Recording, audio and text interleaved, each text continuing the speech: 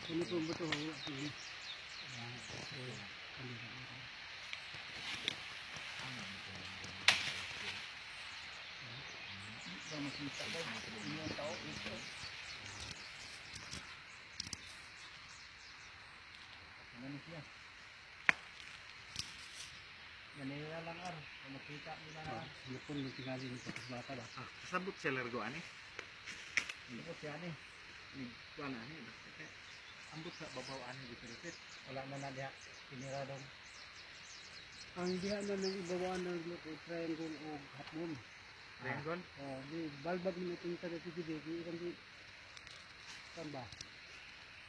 Ano ba? Wan di tay. Oh, iyo, iyo. Kuyot. Tambag yung balay no.